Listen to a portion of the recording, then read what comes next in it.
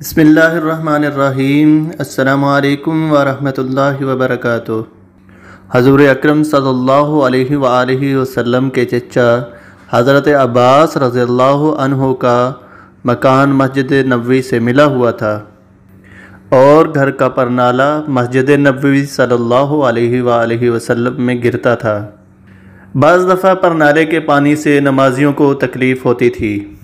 حضرت عمر فاروق رضی اللہ عنہ نے اپنے دور خلافت میں نمازیوں کی سہولت کے لیے وہ پرنالہ اکھڑوا دیا۔ اس وقت حضرت عباس رضی اللہ عنہ گھر میں موجود نہ تھے۔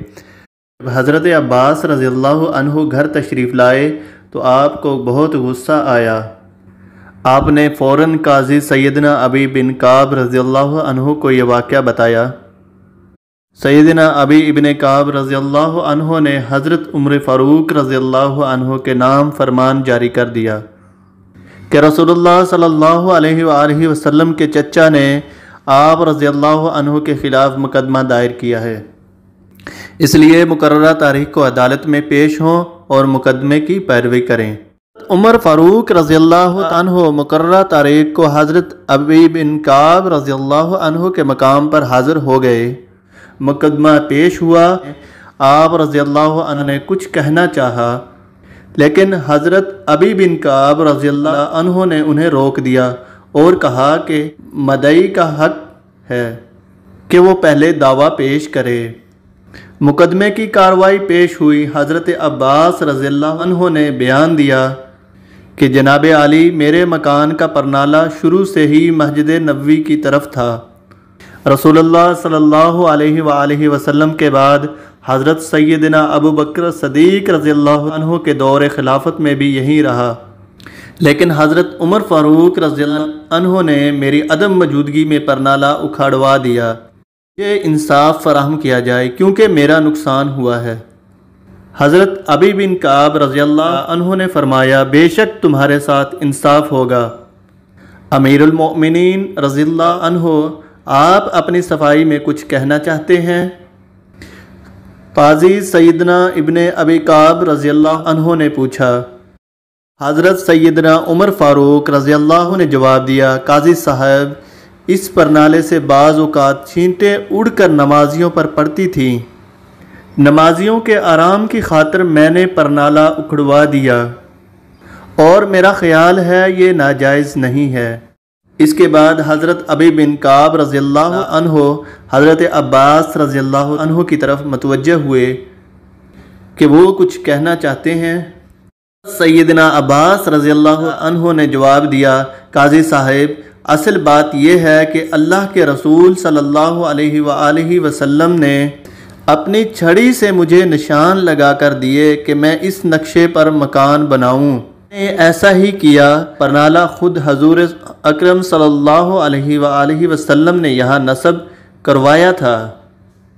حضور صلی اللہ علیہ وآلہ وسلم نے مجھے حکم دیا کہ میں آپ صلی اللہ علیہ وآلہ وسلم کے کندھوں پر کھڑا ہو کر یہاں پر پرنالہ لگاؤں۔ آپ صلی اللہ علیہ وآلہ وسلم کے احترام کی وجہ سے انکار کیا۔ لیکن حضور صلی اللہ علیہ وآلہ وسلم نے بہت اصرار کیا۔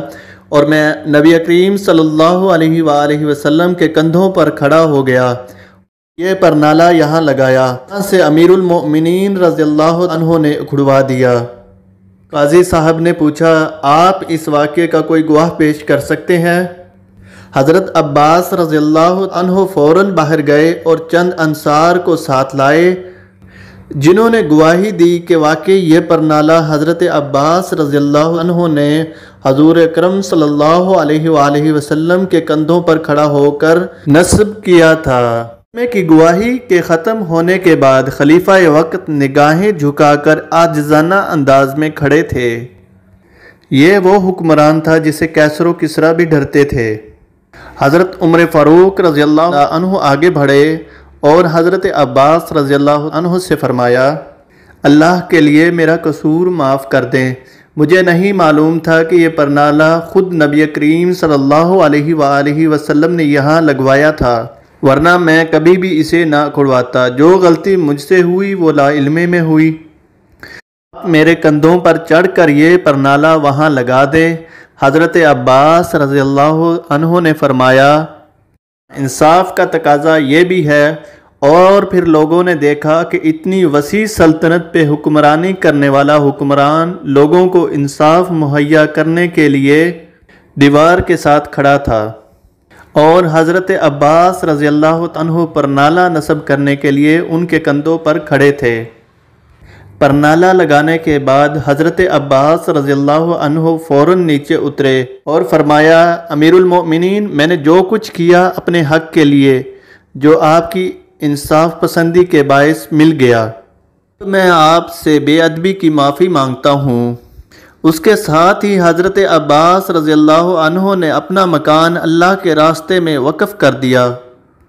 منین حضرت عمر فاروق رضی اللہ عنہ کو اختیار دیا کہ میرا مکان گرا کر مسجد نبوی میں شامل کر لیں، تاکہ نمازیوں کی جگہ کی تنگی سے جو تکلیف ہوئی وہ بھی کم ہو جائے۔